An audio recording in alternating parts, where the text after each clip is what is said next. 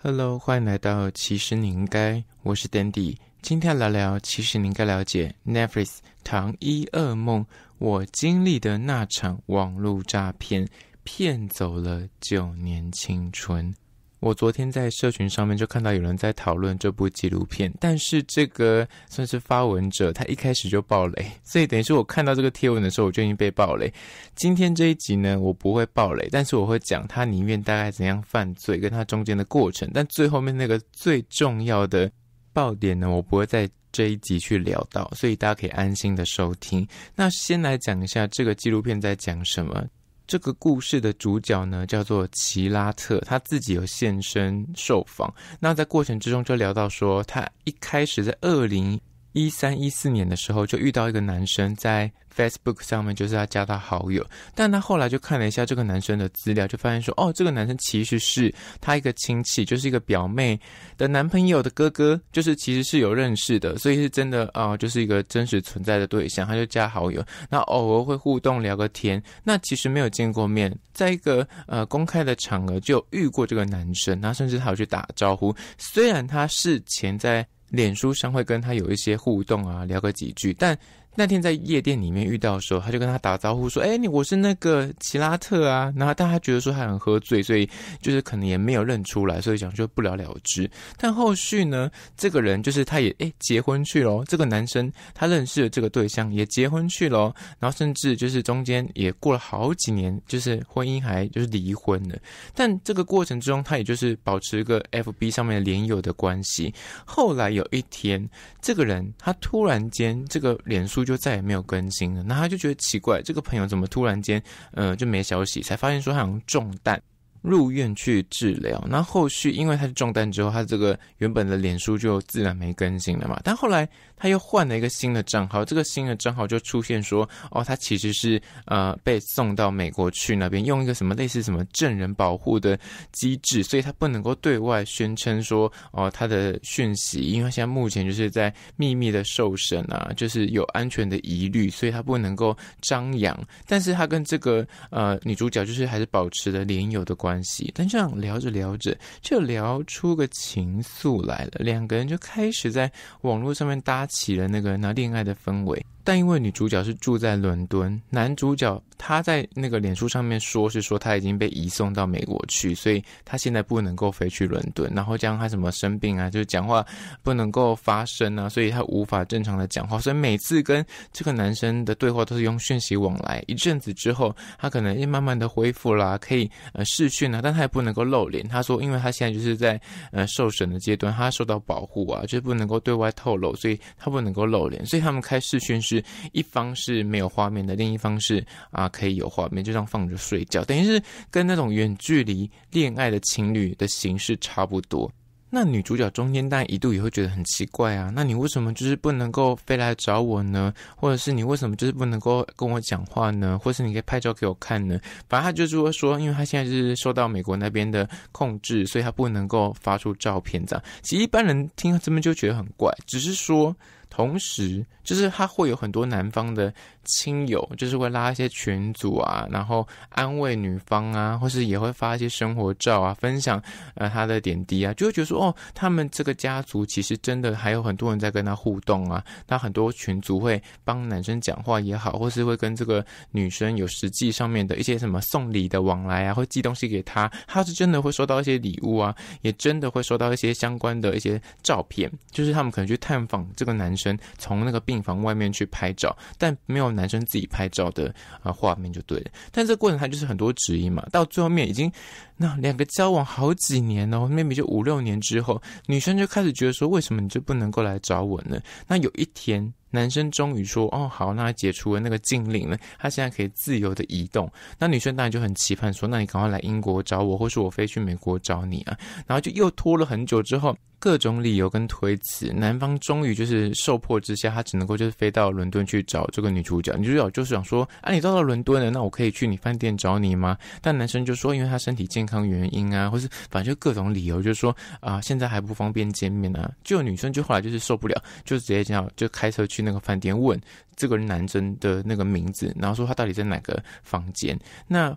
饭店的房务人员就说：“哦，不好意思，没有这个人诶，就是没有这个人啊，没有这个讯息这样。”他要打给那个男生，男生又说：“哦，因为他不能够用真名，他怕被查出来之类的。”反正种种就是很多，其实很多线索，但中间的过程已经历时好几年。从他一开始认识这个男生，到后面真的发现说自己是被骗的，就已经经过九年的时间。那这个故事呢，就是取材自一个爆红的 podcast，叫做《Sweet Bobby》，他那个男生就叫 Bobby。那这个导演就用很紧凑的叙事手法，从女主角第一人的视角去告诉你说，一开始之后多甜蜜啊，他自己那单方面晕船晕得很深呐，到后面到底呃中间是呃他是怎样被骗的啊？可能很多人是怎样跟他互。动的啊，他是怎样用他的话术，或是用他的一些呢甜言蜜语哄骗他，让他相信说这个人是存在的，跟这个人是真实爱他的，一步一步的把他推向那个无法回头的深渊里面。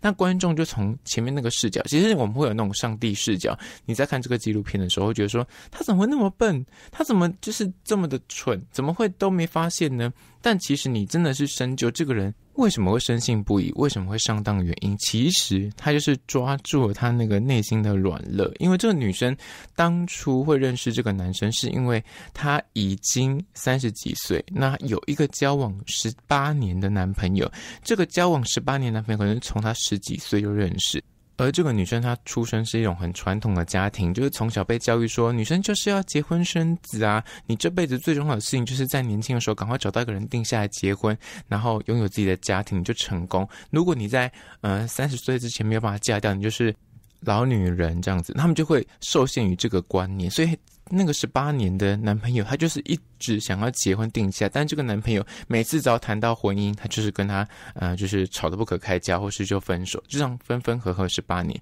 最终，这个女生终于觉得说啊，脆心就分手了之后，又认识了这个网络上这个男生，他又觉得说各方面的条件，然后他的外形他都很喜欢，所以才会在那个当下深陷进去这个关系里面，加上。这个女生，因为她在那个年龄已经三十几岁了，然后遇到这个男生，她又觉得说，很像是要把握这个机会，能够走入家庭，而且刚好他们很像是同个背景文化的，加上她喜欢的这个男生，刚好她亲戚朋友就是有个小女生，她的男朋友也是刚好是这个男生的弟弟，所以就觉得说哇。大家都认识啊，所以就是很安全的，没有问题啊，所以他才会深信不疑。但这个影片的过程之中，这个诈骗者他是用了很多手法，就刚刚说的，他会假扮成很多亲戚朋友来跟这个女生。加好友，然后说服他说：“哦，这个男生很棒啊，这个男生很好啊，你要相信他，他是个好人呐。”那这样，这个女生本来觉得说：“哎，我也看过他本人啊，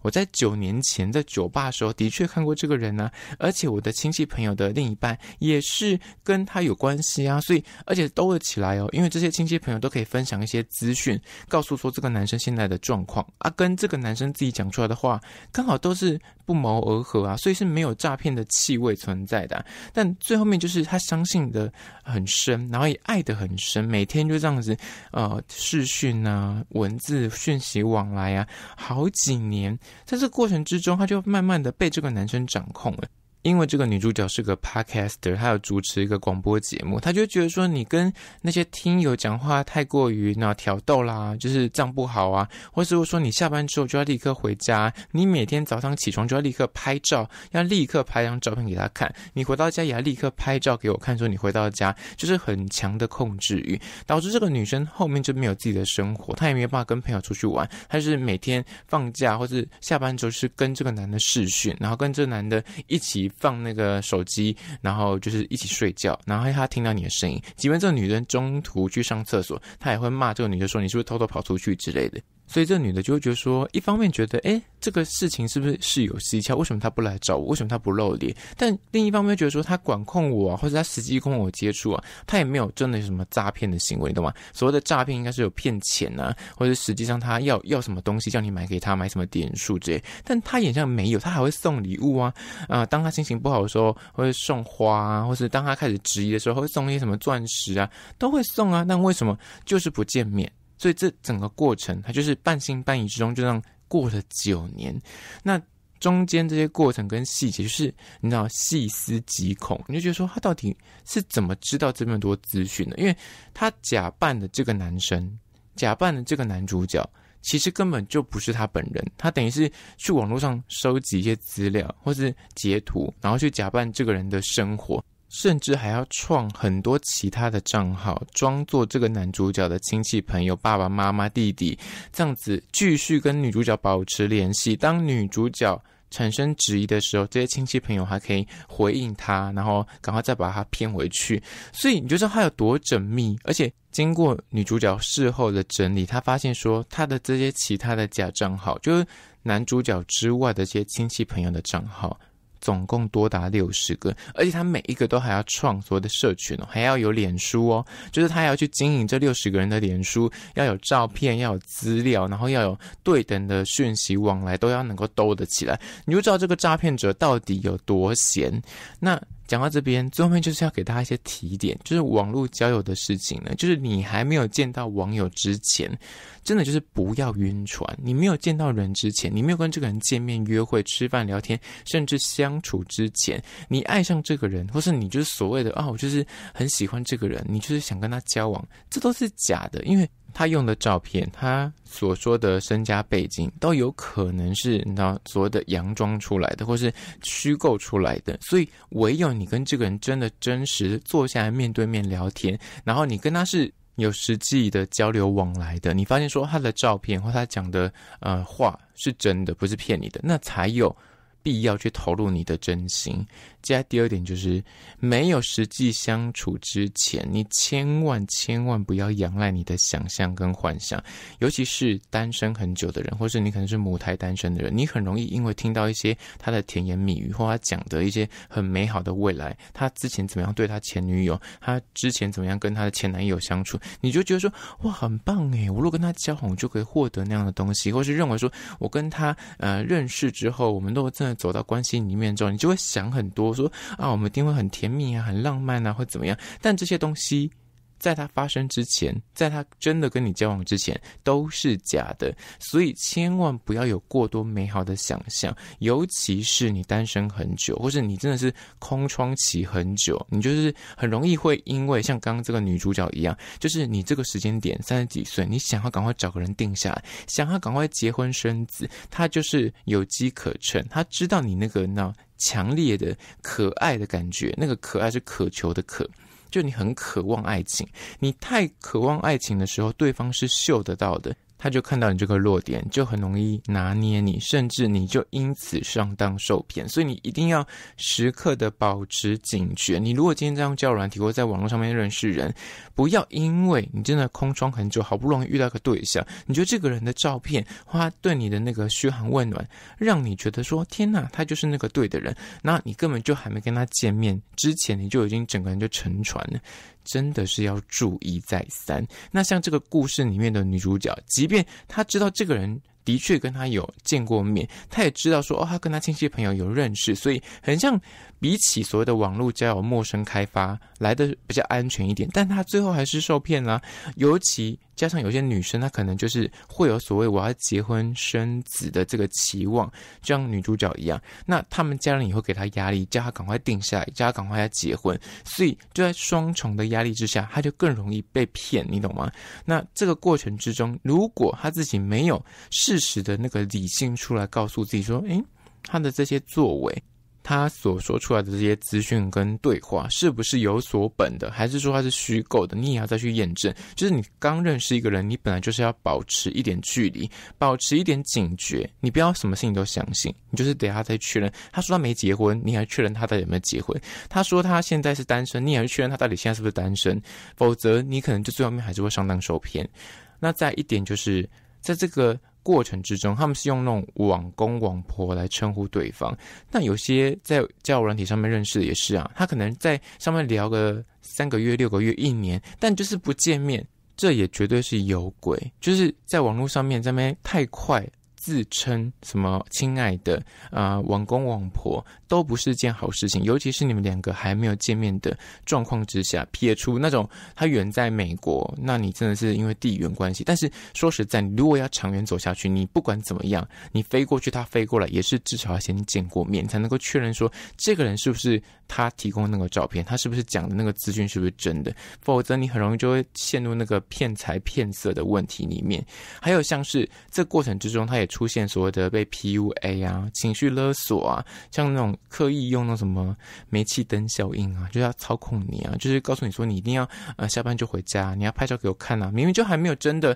跟这个人有接触，但他讲的这些话就是在操控你，让你杜绝去怀疑这个可能，让你跟你的朋友保持距离，不要让别人来洗脑你，不要让别人来呃告诉你说这件事情是假的，就是非常的邪恶。还有一点就是。诈骗到底背后的目的是什么？我觉得很多时候的诈骗集团，他骗你，他就是为了骗财；亦或是有些人单纯不是诈骗集团，他就是想约炮，他想骗色。这两个都好说，因为骗财或骗色，他花的时间相对而言不会太长，就是他想要短时间之内赶快骗到你的钱，短时间之内赶快约你上床。那那 maybe 就是几个月之内，就是他一定会放弃，或是他一定会得逞。好，那就结束，或者你会发现，那再来就是。这个故事为什么之所以会拉这么长，他会被骗这么久？就是他既不骗财，他也不骗色，他骗你感情。所以最可怕就是这个项目，就是他今天不求财也不求色，他单纯就是要一个陪伴，他单纯就是要骗你的感情。那你是拿他没辙，因为你就是无从判读说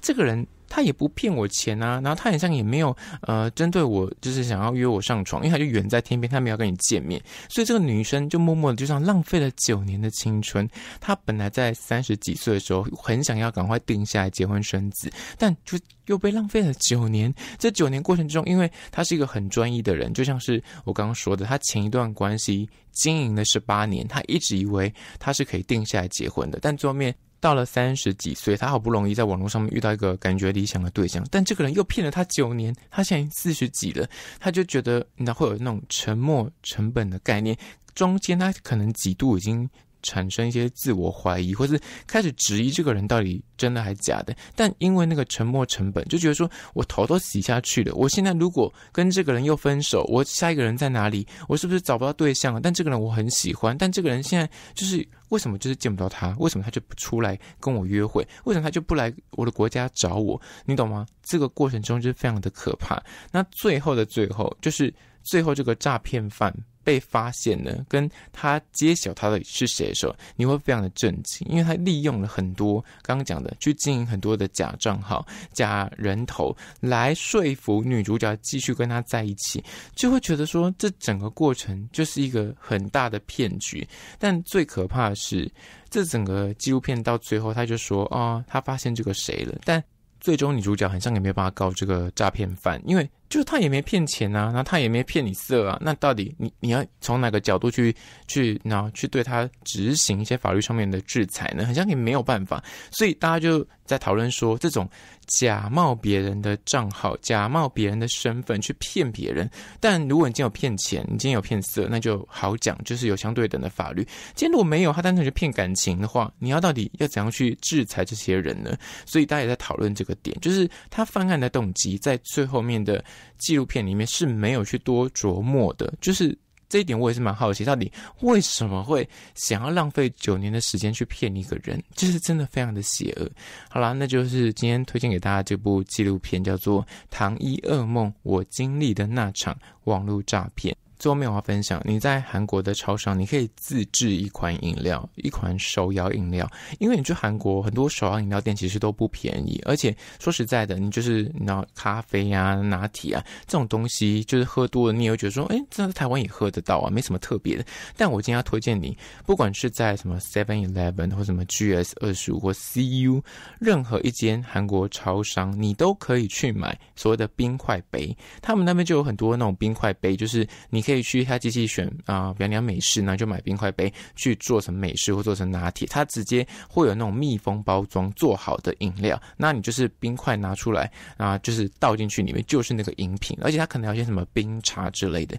但有一款就是你可以去买它的 L 号的冰块杯，然后买一瓶就是最经典的那个香蕉牛奶啊，就是黄色包装的那一款，然后再买一个大冰。拿铁的密封包装，你把三个倒在一起，它就变成了一杯独一无二的香蕉牛奶拿铁。而且我之前其实看过很多网络的网友在分享这个，就是小 pebble，但我其实一直都没有去执行，直到我这一次才想起来，我就记得了。我跟你说，一喝成主顾，非常的好喝，而且其实它不论品牌，不管你是在哪一间超商，都可以买到这些，就是。原物料 就自己可以搭配起来，而且价格很便宜，这样才一百块，而且超级大杯，有别于外面的手摇饮料杯。因为韩国那边的手摇饮，它的冰块是没有办法调整的，很长时候你看起来那个饮料感觉是台湾的大杯，但你真吸没两口就没了。它大概那个容量里面的饮料实体，大概就台湾的小杯，就是它两口就没了，就是对台湾人来说很不过瘾。但是你在呃超商自己调配的这个大杯的所谓的香蕉牛奶拿铁呢，它的容量就真的是蛮大的，而且喝起来你就不用再调糖度，因为大的冰美式是无糖的嘛，但是香蕉牛奶是有一定的糖度。但说实在，你单喝香蕉牛奶会觉得偏甜，但是加上冰块跟加上那个美式咖啡。综合起来，你就觉得那个甜度恰到好处。你的这个拿铁既有那个牛奶的丝滑感，又有香蕉的香气，又有一点甜味，价格又非常的便宜。你又可以喝到所谓的很道地韩国的香蕉牛奶，然后又可以喝到所谓的你知道只有韩国限定的这种呃香蕉牛奶拿铁，我觉得非常推荐，在此提供给你做参考。好了，那就今天的节目内容，对今天的主题你有各种意见看法、疑难杂症的，欢迎到 IG 或是 Threads 跟我做互动喽。就今天的，其实你应该。下次见哦。